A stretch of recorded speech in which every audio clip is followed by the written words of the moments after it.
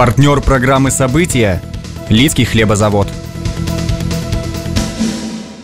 Испокон веков хлеб считался проявлением мудрости народной, красоты и здоровья. Сегодня Лидский хлебозавод радует вас свежим и румяным хлебом, ароматной выпечкой, необычайно вкусными тортами – мы заботимся о качестве своей продукции, поэтому используем натуральные ингредиенты и традиционные рецепты.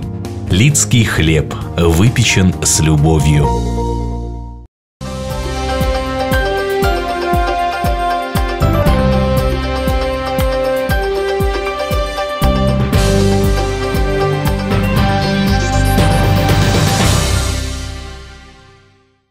В эфире Лицкого телевидения информационная программа «События» в студии Алексей Вадейко. Здравствуйте. Начинаем с анонса основных тем выпуска. Они выдерживают капризы погоды. Сложившиеся агрометеорологические условия пока не сказались на зимых зерновых в хозяйствах Личины. Состояние перезимовки озимых зерновых культур не вызывает беспокойства у агрономов района. До трагедии было недалеко. В Лиде на пожаре отец спас сына. Он был эвакуирован и передан бригаде скорой медицинской помощи. Кто и когда изменит ситуацию? Жильцы новой пятиэтажки по улице Куйбышева пытаются решить судьбу соседствующие с их домом траншеи. Сейчас не, нельзя сказать, что воды не будет, потому что сейчас сухая погода. Первый белорусский парабобслист, личанин Александр Авдевич, снова доказал, что невозможное возможно дезориентация, сильная перегрузка. Сегодня Лида снова принимала гостей. Наш город посетили слушатели курсов повышения квалификации Института государственной службы Академии управления при президенте Беларуси. Среди них были руководители и заместители председателей облсполкомов, гор и райисполкомов разных регионов страны, заместители глав администрации районов в городах. Во время выездного практического занятия в Лиде они обсуждали тему «Актуальные вопросы деятельности исполнительной власти в регионах». Наша задача сделать э, наше обучение, повышение квалификации максимально практикоориентированным. Поэтому э, в течение вот пятидневной учебной недели мы предусматриваем не только аудиторные занятия, но и вот такие практические выездные занятия. Значит, э, график таких практических выездных занятий у нас согласовывается с облсполкомами, в частности, с вашим Грудинским облсполкомом. И вот для этой категории была и выбрана как База основная – это город Лида, Лидский район. Для слушателей курсов повышения квалификации Института госслужбы Академии управления при президенте Беларуси личане подготовили насыщенную программу.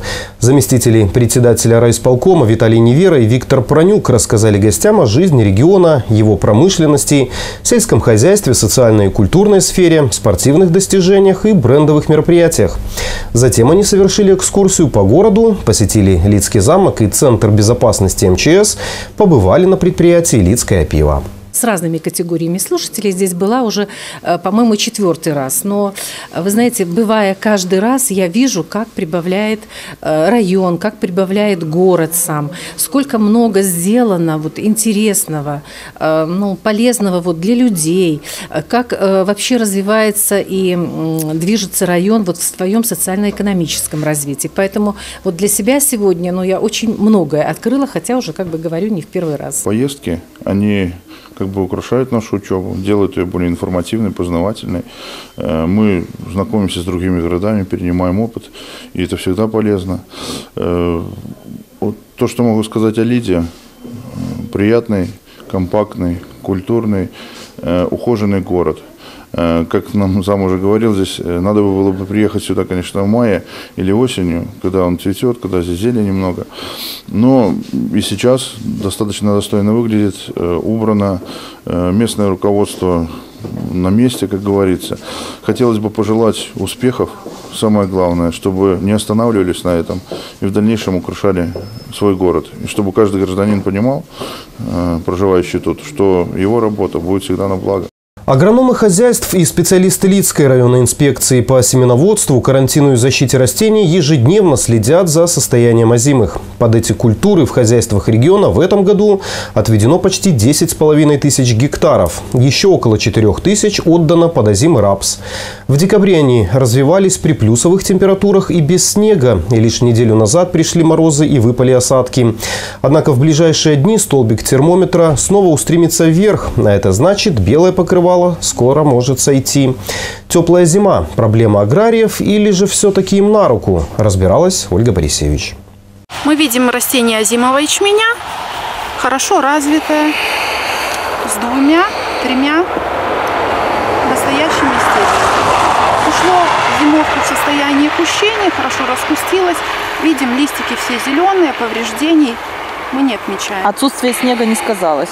На данном урочище, как мы видим, растения зеленые, живые, поэтому никакого влияния на развитие растений это не оказало.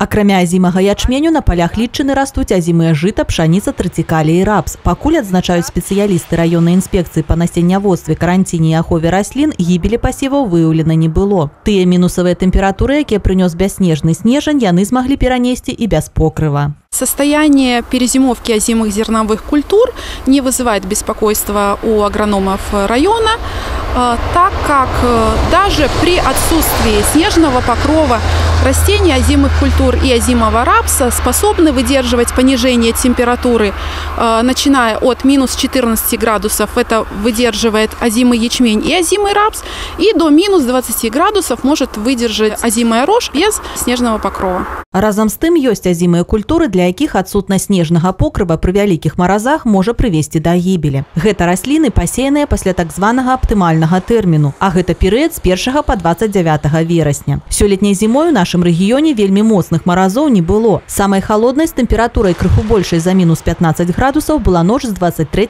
на 24 студзеня, таму і без снегу такія культуры выстаялі. У нас в районе это порядка 36% э, площадей озимых зерновых зерновых культур, и порядка 15% это поля, которые ушли в зимовку в состоянии одного настоящего листика.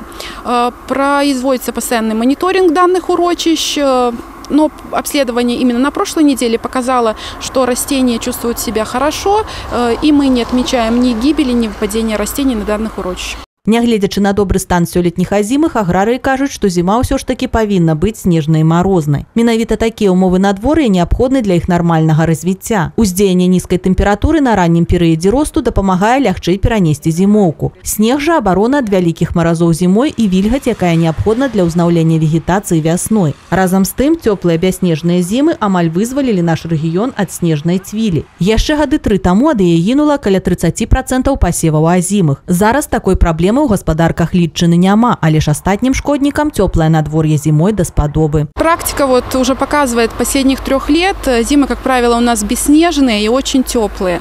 И запас, зимующий запас вредителей, к сожалению, у нас полностью перезимовывает. И с наступлением положительных температур, где-то примерно плюс 6 градусов Цельсия, мы видим обилие вредителей на наших полях. Конечно, эм, даже 5-10 лет назад такого не было. Даже не нужно искать, потому что ты заходишь на поле, и вредитель даже не прячется.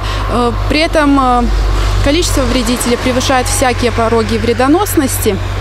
Э, поэтому специалисты хозяйства, это особо актуально для посевов озимого рапса, стараются до наступления таких погодных условий запастись инсектицидами, э, дабы провести первую обработку, которая является наиболее важной э, для защиты данной культуры. Калі азімым зерневым і рапсу цёплая зіма не прынесла шкоды, то на градках у некаторых гаспадароў пад уздзеяннем плюсавых тэмператур у снежні студзені пайшлі ў рост зімовыя цыбуля і часнок. Спецыялісты кажуць, гэта ненармальна, але не значыць, што расліны прапалі. Это достаточно такие негативные факторы.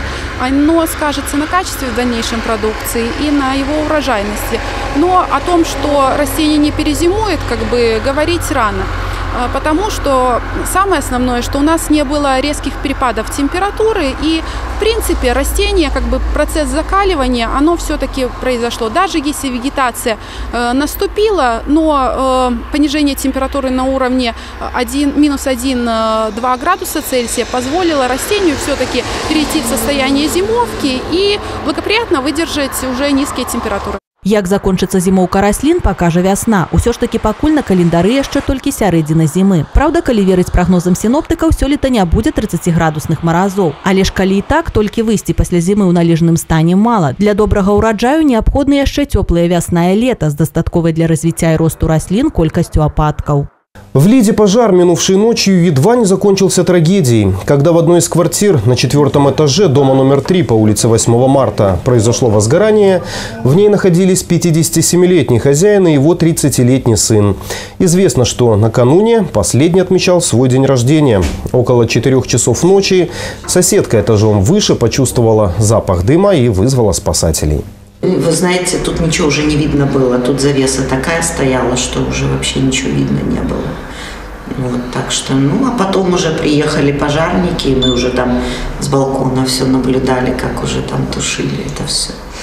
Спасатели обнаружили в прихожей на полу лежащего без сознания молодого мужчину. Из комнаты, где произошел пожар, его вытащил отец. Огнеборцы передали пострадавшего медикам, которые в тяжелом состоянии доставили его в реанимационное отделение Лицкой районной больницы. Звеном газодымозащитной службы в коридоре был обнаружен в бессознательном состоянии мужчина 88 года рождения. Он был эвакуирован и передан бригаде скорой медицинской помощи. Положительная причина пожара – неосторожное обращение с огнем при курении. Продолжаем выпуск. Звонок на горячую линию Лицкого телевидения стал поводом для выезда съемочной группы на улицу Куйбышева. Жители дома номер 35А сетовали на долгосрочное соседство с траншеей под окнами. По их словам, она не только портит внешний вид территории, но и создает определенную опасность, особенно для детей. В ситуации разбиралась Оксана Банцевич. Здесь дети лазят. Вот дети сейчас будут в 11 часов идти, вот вы зарано приехали, дети, вот вы вешаете вот эти оградительные ленты, ваши трестовские дети здесь лазят. Семья Марии Дикевич заселилась в новый 50-квартирный дом по улице Куйбышева год назад. Этого момента она ждала с нетерпением, ведь так хотелось иметь собственное жилье. Да и впечатления от новостройки сразу были положительными. Однако уже через два месяца появились проблемы. Фундамент здания стало подмывать, а подвалы затапливать. Жильцы обратились в строительно-монтажный трест номер 19, который возводил пятиэтажку. Там пояснили, виной всему грунтовые воды. С ними на данном объекте строители столкнулись еще при закладке фундамента. Но разработчик проекта, Институт Гродно-Граждан проект, проведя инженерно-геологические изыскания, порекомендовал специалистам строительно-монтажного треста провести наружную и внутреннюю гидроизоляцию дома и разрешил строительство. Однако такие работы не дали ожидаемого результата. В самом начале здесь было озеро. И дети наносили тут мусора, колеса с-под машины, они тут плавали на этом. Потом подвалы были все затоплены, по колено воды стоял. Строители говорят, у каждого дома есть слабые места. В случае с новой пятиэтажкой по улице Куйбышева это высокий уровень грунтовых вод. Работники строительно-монтажного треста номер 19 после сдачи данного дома в эксплуатацию за счет средств организации провели дренажную водоотводную систему, а также сделали дополнительное накрытие приямков дома металлопрофилем и построили по периметру здания поверхностный бетонный отводной лоток. Благодаря произведенным работам уровень грунтовых вод на участке понизился менялся. Но возникли новые проблемы. Было пущено тепло, и где-то при замыкании повреждена изоляция. Здесь такая у битовой перлите идет проводка, она показывает прибор, показывает, повреждена или нет. Вот когда дожди пошли, замокло и начало пробивать. Поднявшиеся грунтовые воды повлияли не только на состояние подвальных помещений, но и на состояние предварительно изолированных труб теплотрассы, на которых установлена система оперативного дистанционного контроля, позволяющая следить за состоянием теплоизоляционного слоя труб и вовремя обнаруживать потери тепла. Благодаря ей сигнал о неполадках поступает на пост управления Лидских тепловых сетей. В апреле прошлого года ликвидировать проблемы с трубами теплотрассы строители попытались своими силами, однако спустя три месяца ситуация повторилась. Тогда к ремонтным работам присоединились специалисты Лидских тепловых сетей. Одну линию делали, вторую линию, один стык отшурфовали, думали, что один стык, сделали один стык, пошел второй стык, и пошло все стыки. Вот, плохая труба была при производстве. Сейчас устранят. Все, они уже сделали одну линию и вторую линию проверим. Решение данного вопроса затянулось на полгода. Сроки заставили жильцов заволноваться. Ведь помимо того, что территория у дома все это время разрыта, теплотрасса так еще и не передана на баланс Лицкого жилищно-коммунального хозяйства. Они сделали дренажные работы. Сейчас не, нельзя сказать, что воды не будет, потому что сейчас сухая погода. Мы боимся за то, что это все ляжет на наши плечи материально. Это ж не просто так. Мы не платим э, за отопление, и мы не платим за воду, и это все несет трест. Не просто ж так. Значит, это серьезная проблема. Застройщик уверяет, жильцы не останутся наедине со своими проблемами, тем более, что гарантия на дом 5 лет. В ближайшее время, возможно, уже к середине февраля, работы на теплотрассе будут завершены и траншея исчезнет, а территория вокруг будет приведена в порядок. О качестве же произведенных работ на теплотрассе можно будет судить весной, когда уровень грунтовых вод вновь начнет подниматься. Первый белорусский парабобслист, личанин Александр Авдевич снова доказал, что невозможное возможно. На этот раз в Австрии он прошел специальный курс обучения парабобслею и получил разрешение участвовать в соревнованиях по этому виду спорта. О необычном увлечении и грандиозных планах спортсмена на коляске из Лиды наш следующий сюжет. Личанин Александр Авдевич уже не раз доказывал, если он за что-то берется, доводит дело до конца. После травмы, полученной в результате ДТП, Саша вынужден передвигаться в инвалидной коляске. Однако человеком с ограниченными возможностями он себя не считает, впрочем, как и других колясочников. Своим активным образом жизни Личанин дает стимул людям с инвалидностью, да и здоровым ставить цели и достигать их. В 2016 году Александр Авдевич покорил Европу, проехав в одиночку на ручном велосипеде более 4,5 тысяч километров и финишировав в Португалии Португалии. Своим путешествием он доказал, что возможно все. Вернувшись домой, Саша с головой нырнул в спорт. Каждый день бил личные рекорды в плавании. Часами пропадал в спортзале, участвовал в различных веломарафонах, в том числе и международных. Один из заокеанских параспортсменов Дэйв Николс, который в 80-х годах пропагандировал парабобслей в Америке, узнал об Александре Авдевиче и предложил ему попробовать себя в этом виде спорта. Александр решил увидеть своими глазами, что такое парабобслей и собрав средства детства отправился в Австрию в качестве болельщика на первый этап Кубка мира по этому виду спорта. Правда, там он редко бывал на зрительских трибунах. Не теряя времени, Ильичанин прошел в Австрии специальный курс обучения по рабобслею и получил право участвовать в соревнованиях. Первое ощущение – это э, немножко дезориентация, э, сильная перегрузка и большая большая доля ответственности в нужном повороте. Потому что если что-то ты пропускаешь, э, в ненужных метрах поворачиваешь, при ненужных секундах заходишь на вираж, то, э, к сожалению, боб может перевернуться. Такое случается, и такое случалось и в этот раз, на этой трассе.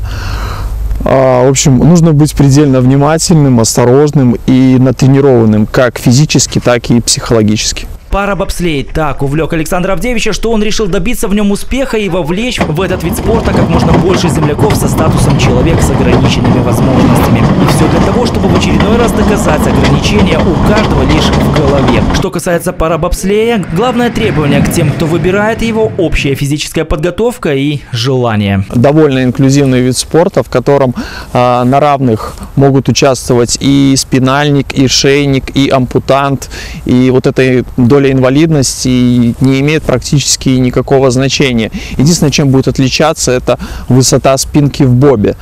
А, важно, важно в парабобслее, чтобы ты не упирался ногами. Поэтому, если человек с ампутацией, то протезы снимаются и он сидит э, без какого-то баланса с помощью ног, ну, соответственно, без спинки. А, посадка там полулежачая, ну, все для того, чтобы а, если, не дай бог, произойдет переворот, чтобы ты мог голову убрать назад и не, не повредился. Вернувшись в Лиду, Саша продолжил тренировки, а параллельно стал заниматься организацией Федерации парабобслея. Для этого ему необходима команда единомышленников, в числе которой будут спортсмены, спонсоры и все те, кому не безразлично развитие белорусского парабобслея. Кроме этого, для регистрации Федерации в Министерство спорта и туризма нужно собрать ряд документов. В Беларуси пока нет своих спортсменов-бобслеистов, а значит нет и специальной трассы. К слову, ее нет и во многих европейских странах. В этом виде спорта практикуются выездные тренировочные сборы. Они проводятся там, где санно-бобслейные трассы обустроены. Как правило, такие тренировочные сборы организуются раз в сезон. Неделя тренировок обходится пара спортсмену около 300 евро. Остальные расходы берет на себя международная организация пара спортсменов. Бобслей включен в программу зимних Олимпийских игр с 1924 года. С 2022 в программе зимних паралимпийских игр, которые пройдут в Пекине, появится пара бобслей. Личанин Александр Авдевич надеется, что там в этом виде спорта будут выступать и белорусы. Yes, Belarus, yeah? Of course. Okay, it's good, it's good, bro.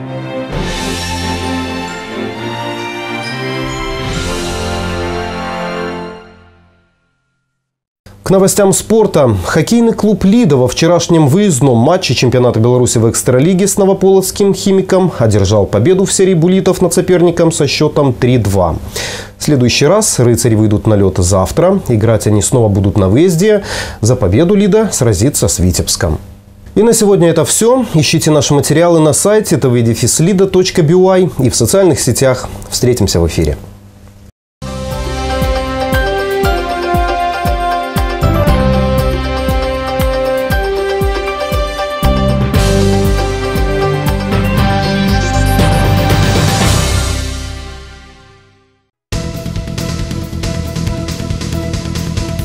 Партнер программы «События» – Лидский хлебозавод.